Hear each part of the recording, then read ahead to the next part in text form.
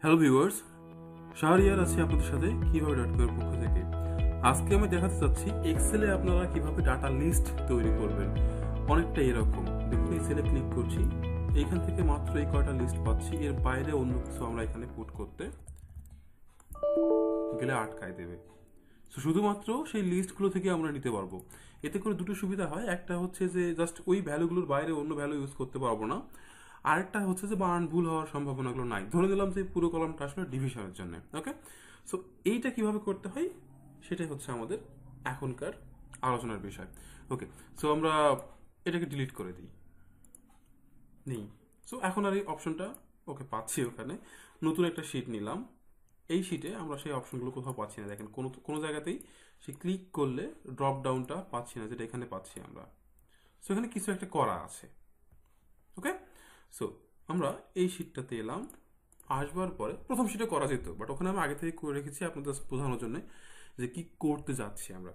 Good so আমরা যেটা করব যে সিলেক্টেড কয়েকটা ডাটা লিস্ট তৈরি করব আমরা। সো আমরা প্রথমে যেটা করলাম বা করতে চাচ্ছি সেটা হচ্ছে যে maybe item one item two item three এবার এখানকার কোনো একটা নির্দিষ্ট সেলে বা বেশ কয়েকটা সেলে আমরা জাস্ট এই কয়টাই ইউজ করার অনুমতি দেব, অন্য কিছু করার অনুমতি দেব না। সেটা করবার জন্য আমরা কি করতে পারি? ধরে নিলাম এই সেলটাতেই করব। সিলেক্ট আছে গুড এরপরে আমরা ডাটাতে যাব।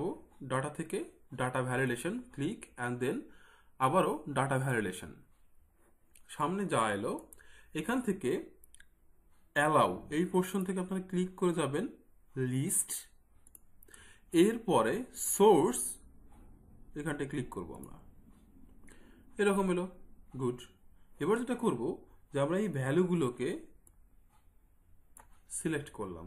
দেখেন সেই সেল নেমগুলো সে নিয়ে নিয়েছে।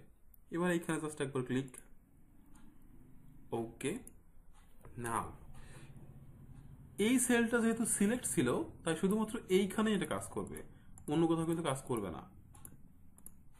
কাজ করছে। সো এটাকে যদি আমরা টেনে ধরে আবার নিয়ে আসি এইভাবে, সেই এক্সেলের পুরনো জিনিসগুলো সেক্ষেত্রে হ্যাঁ আমরা ফর্মুলাটা পেয়ে গেছি ইউজ করার সুযোগ পাচ্ছি। ঠিক আছে? গুড আটকায় দিল সো এইটাতে যে প্রবলেমটা হচ্ছে এই মুহূর্তে, আমার এইখানেই ডাটাগুলো আছে, আমি যদি এখন এটাকে মুছে ফেলি, কথা কথা মুছে ফেললাম ডাটাগুলো, এখন এখানে এসে যদি ক্লিক করি, দেখব যে এমটি কিচ্ছু নেই। কারণ এই ঘরগুলো এমটি সো রেফারেন্সটা সে নিচ্ছে ওখান থেকে, কিন্তু যখন সেই রেফারেন্সটা ডিলিট হয়ে যাচ্ছে বা সেই ডেটাগুলো ডিলিট হয়ে যাচ্ছে, তাতে করে কি হচ্ছে? আমার সেই ড্রপ ডাউন কাজ বা লিস্টটা আর কাজ করছে না। এটা একটা প্রবলেম তাই না? কারণ আমাদের যে শিটটা থাকবে, সেই শিটে অনেক কিছু থাকতে পারে। সো এটা সলিউশন হিসেবে আমরা যেটা করতে পারি, যে আমরা এখানে তো অনেকগুলো শিট নেওয়া যায়। আপনারা যারা এক্সেল ইউজ করেন, তাদের এই সম্পর্কে ধারণা আছে।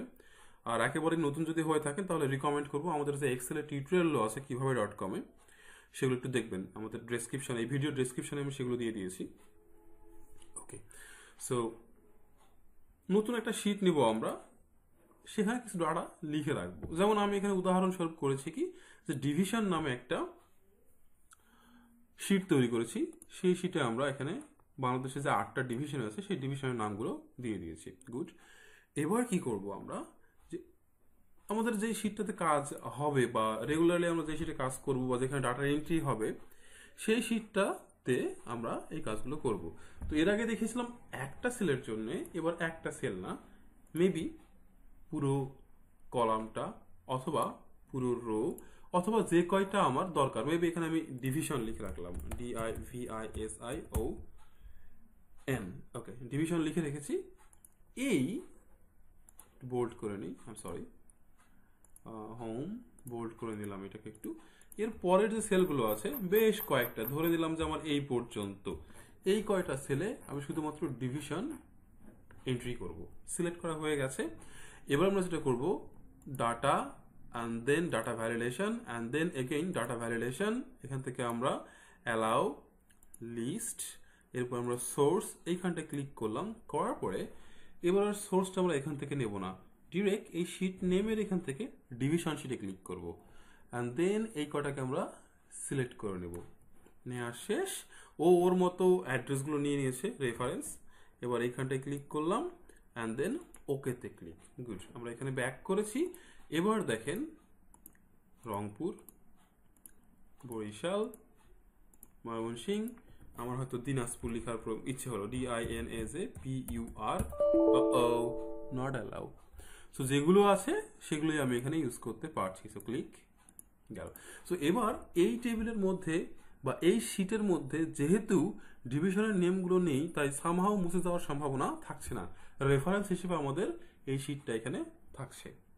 সো বন্ধুরা, আশা করি আমার এই ছোট্ট টিউটোরিয়ালটা আপনারা বুঝতে পেরেছেন, যেখানে আমি বোঝাতে চেয়েছিলাম যে কীভাবে আপনারা আসলে এক্সেলে সিলেক্টেড ডাটা লিস্ট তৈরি করতে পারেন নির্দিষ্ট সেলগুলোর জন্য, যেখানে সেই নির্দিষ্ট সিলেক্ট করে দেওয়া তথ্যগুলো ব্যতীত অন্য কোনো তথ্য আমরা প্রবেশ করাতে পারব না।